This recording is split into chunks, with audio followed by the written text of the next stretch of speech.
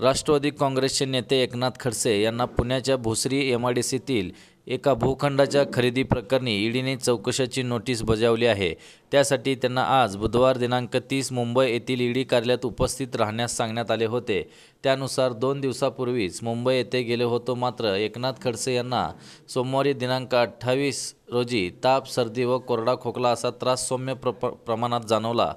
ही corona सदृश्य लक्षणे असल्याने त्यांना वैद्यकीय तज्ज्ञांनी सांगितले तसेच यासाठी चौदा दिवस विश्रांतीची आवश्यकता असल्याचाही सल्ला दिला आहे.